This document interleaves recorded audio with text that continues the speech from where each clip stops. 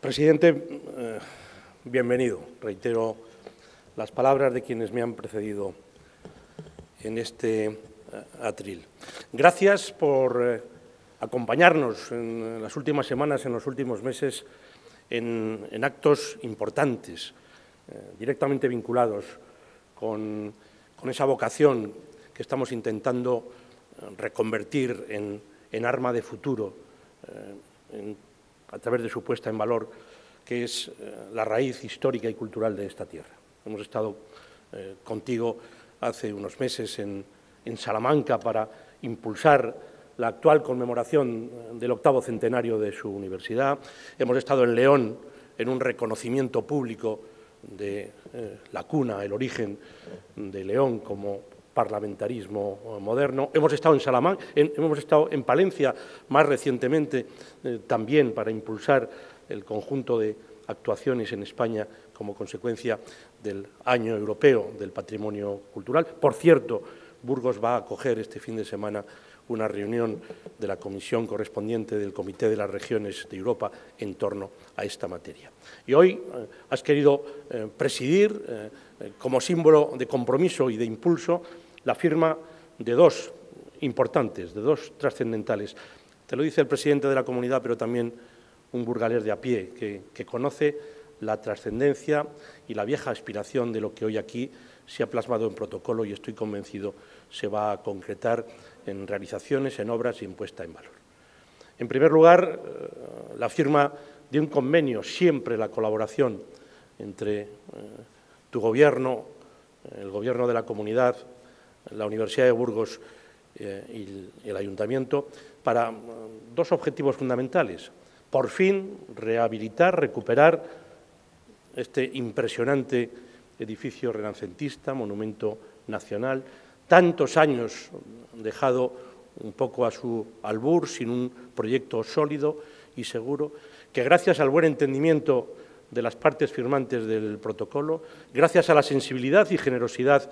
de tu Gobierno y de tu ministro de Cultura, va a acoger, eh, a partir de la realización de las obras definitivas de recuperación, no solo unos usos eh, universitarios muy notables que van a acercar al centro de la ciudad eh, las actividades o algunas de las actividades de la universidad, sino un servicio cultural, un equipamiento que también compartimos, como es el relacionado con ese archivo histórico documental que es titularidad estatal, pero que es de gestión autonómica, como lo son algunos otros equipamientos. Esta va a ser, eh, presidente, en los términos que conocemos, la inversión más importante del Ministerio de Cultura en los próximos años en la Comunidad de Castilla y León. Una inversión con la que vamos a hacer realidad lo que desgraciadamente suponía una excepción en el caso de Burgos. Era la única provincia, la única eh, capital de Castilla y León que no había renovado ese archivo documental tan importante para conocer la historia en los documentos, en las bases históricas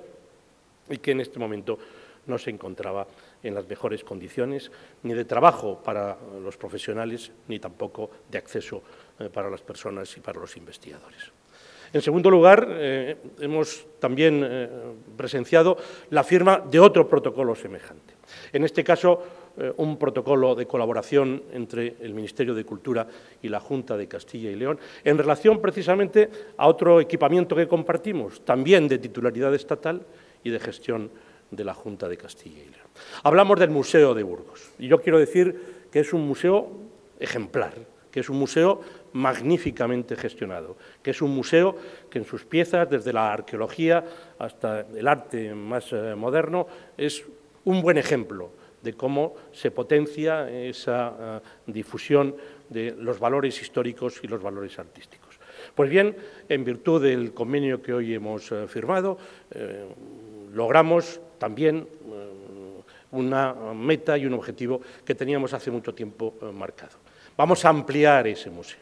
Y no, y no lo vamos a ampliar para un uso cualesquiera, siendo todos unos usos notables. No, con la ampliación de, la Casa de Miranda a la Casa de Melgosa, eh, con las obras que ahí se van a ejecutar, con las obras que ahí va a ejecutar la comunidad autónoma, y estamos hablando seguramente de una inversión superior a 3 millones de, euros, vamos a dotar a la ciudad de lo que la ciudad venía reclamando. Vamos a hacer justicia, y en mi caso concreto eh, hago justicia también a la palabra dada a un gran burgalés, a un gran artista burgalés, a Luis Sáez, que falleció ya hace algunos años, y que poquito antes de morir nos hizo el honor, desde la confianza, de legarnos una parte muy importante de su obra, con una visión personal de la unidad de esa obra, de la gestión de esa obra, de la divulgación de esa obra, pero también pensando en la pléyade de eh, artistas contemporáneos burgaleses, a los cuales la ciudad no, hasta este momento les había ofrecido un espacio, un espacio moderno,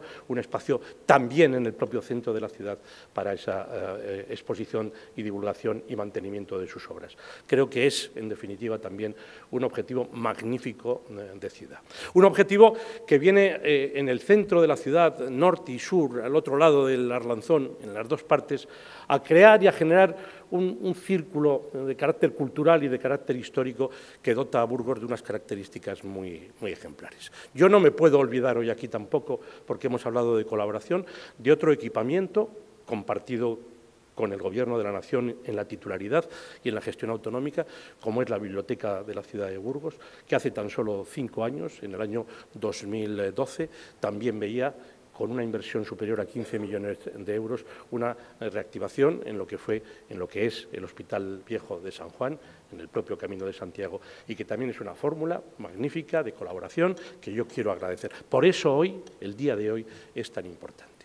Dentro de esos esfuerzos, yo hoy me tengo que acordar de una forma muy intensa y con mucho orgullo a los casi 60 profesionales públicos que en esos tres equipamientos vienen sirviendo a unos objetivos que son de cultura, que son de historia, que son de presente y que son también de futuro.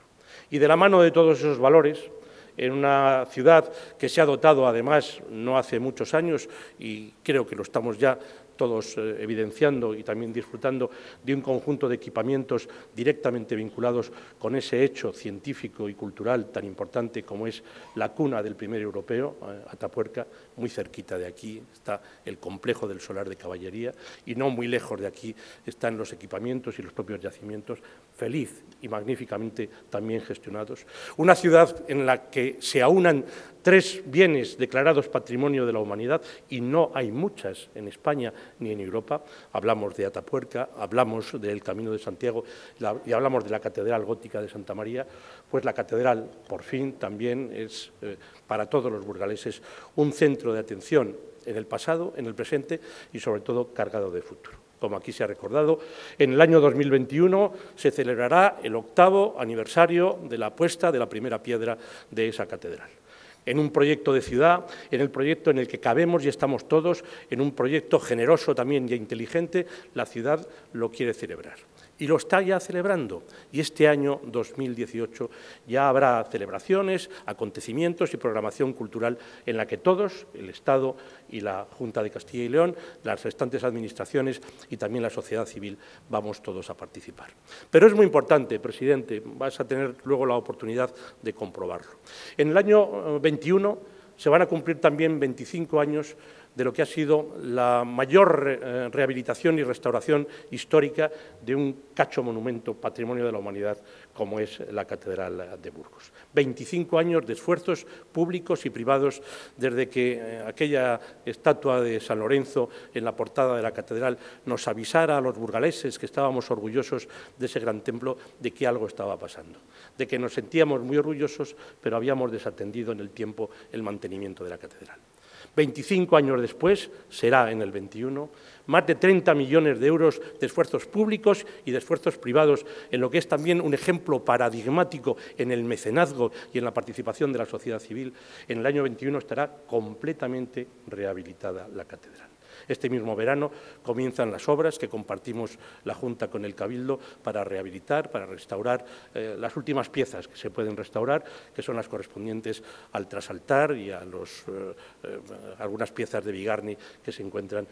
pues básicamente deterioradas. Será también un ejemplo de cómo defender de cómo proteger, de cómo rehabilitar y cómo poner en valor el conjunto de nuestro patrimonio histórico y de nuestro patrimonio cultural. Para ello, vuelvo a decir, hay un proyecto de ciudad, hay un proyecto magnífico, hay un proyecto que trasciende en el que estamos todos enganchados y al que seguiremos enganchados allí donde estemos en el año 2021, la catedral, la puesta en valor.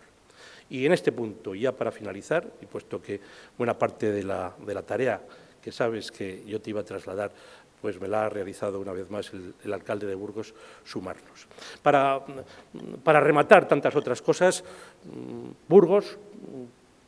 lo estamos viendo, yo te he acompañado también en lo que fue la llegada de la alta velocidad a León y a, y a, Palencia previamente, y hablábamos en el momento del desvío en, venta de baños de esa aspiración que tenemos los burgaleses, de ese compromiso que incluso institucional y políticamente hemos asumido con ellos. Bueno,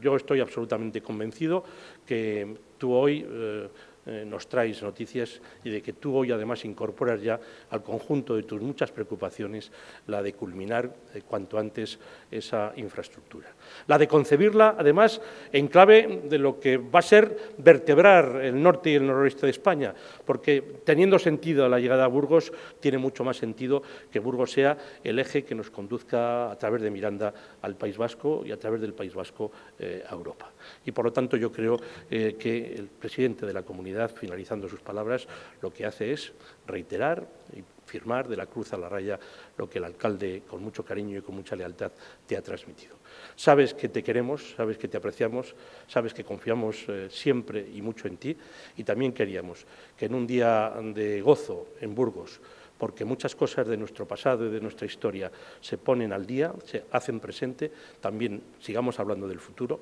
que es el futuro de los burgaleses, que es el futuro de todos los castellanos y los leoneses y que es el futuro de este gran país que compartimos y que tú presides, querido Mariano, que es España. Por todo ello, por tu esfuerzo, por tu esfuerzo permanente y por tu presencia constante, muchas gracias, presidente, y muchas gracias a todos.